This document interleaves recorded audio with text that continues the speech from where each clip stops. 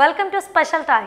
అందరూ ఆతృతగా ఎదురుచూస్తున్న భారత్ ప్రతిష్టాత్మకంగా చేపట్టిన చంద్రయాన్ టూ ప్రయోగానికి తాత్కాలికంగా బ్రేక్ పడింది. సాంకేతిక సమస్య తలెత్తడంతో ప్రయోగాన్ని వాయిదా వేస్తున్నట్టు ఇస్రో తెలిపింది. క్రయోజనిక్ ఇంధన సరఫరాల లోపం వల్లే ప్రయోగం వాయిదా పడినట్టు సమాచారం ఇచ్చారు. లాంచింగ్కు యాభై ఆరు నిమిషాల ఇరవై నాలుగు సెకండ్స్కు ముందు లాంచ్ వెహికల్ సిస్టంలో సాంకేతిక సమస్య తలెత్తింది. దీంతో ముందస్తు జాగ్రత్తగా ప్రయోగాన్ని సోమవారం నిలిపివేస్తున్నట్టు ఇస్రో వెల్లడించింది. ముందుగా సోమవారం వేకువజామున రెండు గంటల యాభై ఒకటి నిమిషాలకు చంద్రయాన్ టూ నెంగిలోకి పంపేందుకు ఇస్రో శాస్త్రవేత్తలు ఇరవై గంటల ముందున ఆదివారం ఉదయం ఆరు గంటల యాభై ఒకటి నిమిషాలకు కౌంటౌన్ ప్రారంభించారు. ఈ ప్రక్రియలో చంద్రయాన్ టూలోని అన్ని వ్యవస్థలకు తుది పరీక్షలు నిర్వహించారు. రాకెట్ ఇంజిన్లో ఇంధనాన్ని నింపారు. ఈ ప్రయోగాన్ని ప్రత్యక్షంగా వీక్షించేందుకు రాష్ట్రపతి రామ్నాథ్ కోవింద్ గవర్నర్ ఈఎస్వి నరసింహన్ ఆదివారం శ్రీహరికోటకు చేరుకున్నారు. కానీ సాంకేతిక కారణాలతో ప్రయోగం వాయిదా పడింది. ఈస్రో బాహుబలిగా పిలిచే GSC V mark three rocket దీనిని రోదస్లోకి మోసుకెళ్ రోవల్ చంద్రుడి ఉపరితలంపై సంచరిస్తూ పరిశోధనలు చేయనున్నట్టు ఈ ప్రయోగం విజయవంతమైతే చంద్రుడిపై రోవర్ను దింపిన నాలుగో దేశంగా భారత్ రికార్డు సృష్టించనుందని చందమామను మరింత లోతుగా అర్థం చేసుకోవాలనేదే తమ లక్ష్యమని తమ ఆవిష్కరణలు భారత్తో పాటు మానవుని మొత్తానికి లాభదాయకంగా ఉంటాయని ఇస్రో వెల్లడించింది. చంద్రుడు దక్షిణ ధ్రువంలో దిగడం నీరు హీలియం త్రీ జాడను గుర్తించడం చంద్రయాన్ టూ ప్రధాన లక్ష్యాలు. ఇస్రో ప్రయోగించిన చంద్రయాన్ వన్ చందమామపై నీటి జాడను గుర్తించిన సంగతి తెలిసిందే. దాన్ని చంద్రయాన్ టూ ద్వారా నిర్ధారించాలని నీరు ఏ రూపంలో ఎంత మేర ఉన్నదో తేల్చాలని శాస్త్రవేత్తలు నిర్ణయించారు. చంద్రయాన్ టూలో ఆర్బిటాల్ ల్యాండర్ రోవర్ అత్యంత కీలకం. ఆర్బిటాల్ చంద్రుడికి వంద కిలోమీటర్ల ఎత్తులో గల కక్షలో తిరుగుతూ ఉంటుంది. అక్కడి వాతావరణం ఇతర పరిస్థితులను గమనిస్తూ నిత్యం సమాచారాన్ని భూమికి చేరవేస్తుంది. ల్యాండర్ చంద్రుడి ఉపరితలంపైకి దిగే భాగం ప్రముఖ శాస్త్రవేత్త విక్రమ్ సారాభాయ్ జ్ఞాపకార్థం. దీనికి విక్రమ్ అని పేరు పెట్టారు. ఈ రెండు పద్నాలుగు రోజులు చంద్రుడి ఉపరితలంపై పరిశోధించనున్నాయి. ఇక చంద్రయాన్ టూలో పది ఆసక్తికర అంశాలు ఒకసారి చూద్దాం. ఒకటోది చంద్రయాన్ టూ బరువు దాదాపు మూడు పాయింట్ ఎనిమిది టన్నులు. పదిహేను అంతస్తుల భవనమంతా ఎత్తు ఉండే ఈ రాకెట్ బరువు ఆరు వందల నలభై టన్నులు. దీనిని ఈస్రో బాహుబలి రాకెట్గా పిలుస్తూ ఉంటారు. ఇది మూడోసారి అంతరిక్షంలోకి ఇక వెళ్ళనుంది. ఇప్పుడు రెండోది. చంద్రయాన్ టూ శ్రీహరికోట నుంచి బయలుదేరిన తర్వాత చంద్రుడి దక్షిణ ధృవం వైపు ప్రయాణిస్తుంది. ఈ క్రమంలో దాదాపు రెండు నెలల పాటు మూడు పాయింట్ ఎనభై నాలుగు లక్షల కిలోమీటర్లు ప్రయాణిస్తుంది. ఇక మూడోది. ఈ మిషన్లోని ఆర్బిటర్ ల్యాండర్ రోవర్ వంటి వ్యవస్థలన్నీ పూర్తిగా స్వదేశీ పరిజ్ఞానంతో అభివృద్ధి చేసినవి. రెండు వేల తొమ్మిదిలో విజయవంతంగా ప్రయోగించిన చంద్రయాన్ వన్కి కొనసాగింపుగా చంద్రయాన్ టూను ప్రయోగిస్తున్నారు.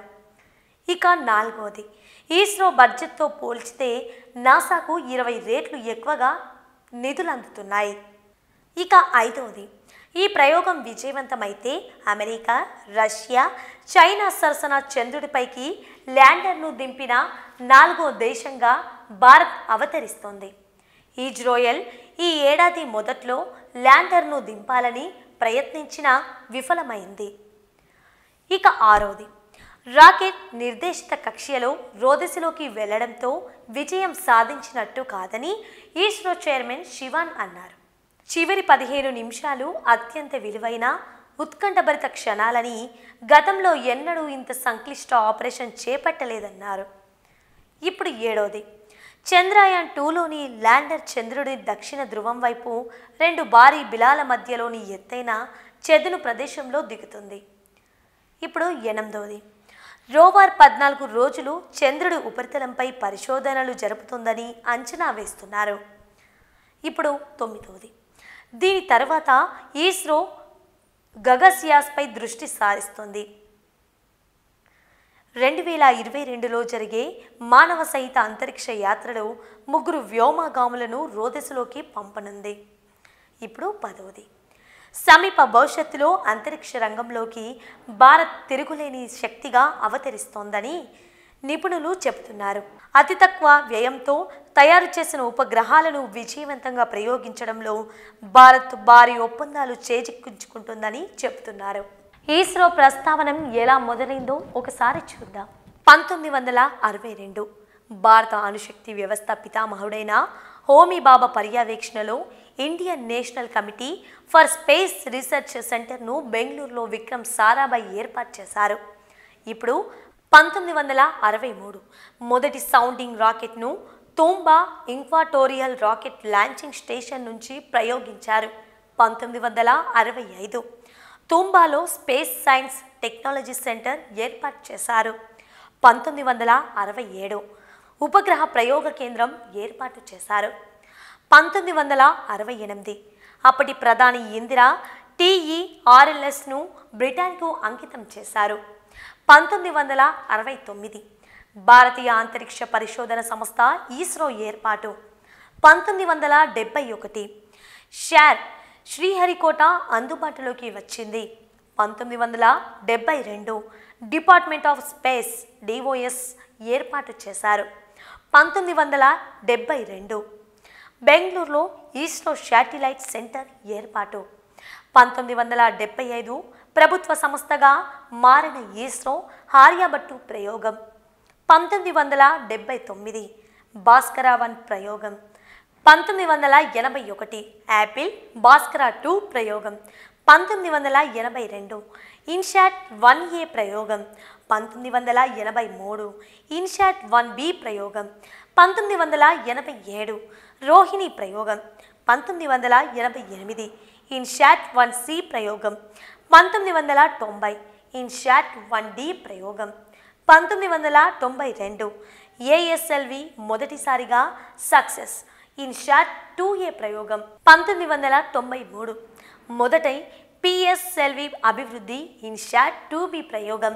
పంతొమ్మిది వందల తొంభై ఐదు ఇన్షాట్ టూ సి ప్రయోగం. పంతొమ్మిది వందల తొంభై ఏడు ఇన్షాట్ టూ డి ప్రయోగం. పంతొమ్మిది వందల తొంభై తొమ్మిది ఇన్షాట్ టూ ఏ ప్రయోగం. రెండు వేల సంవత్సరంలో ఇన్షాట్ త్రీ సిరీస్ ప్రారంభం. రెండు వేల ఒకటిలో మొదటి జిఎస్ఎల్వి సక్సెస్. రెండు వేల రెండులో కల్పన ప్రయోగం. రెండు వేల నాలుగులో ఈడీవి షాట్ ప్రయోగం. రెండు వేల ఐదులో కర్నో షాట్ ప్రయోగం. రెండు వేల ఆరులో రెండో జిఎస్ఎల్వి ఆపరేషనల్ ప్రయోగం. రెండు వేల ఏడులో ఎస్ఆర్ఈ వన్ని విజయవంతంగా కనిపెట్టడం. రెండు వేల ఎనిమిదిలో చంద్రయాన్ ప్రయోగం. రెండు వేల పదిలో విజయవంతమైన జిఎస్ఎల్వి స్పాటిక్ టెస్టింగ్ రెండు వేల పదమూడులో మార్స్ ఆర్బిటల్ మిషన్ రెండు వేల పదిహేనులో ఆస్ట్రోషాట్ ప్రయోగం. రెండు వేల పదిహేడులో పిఎస్ఎల్వి సి థర్టీ సెవెన్ ద్వారా వన్ నాట్ ఫోర్ ఉపగ్రహాల ప్రయోగం. రెండు వేల పంతొమ్మిదిలో చంద్రయాన్ టూ ప్రయోగం.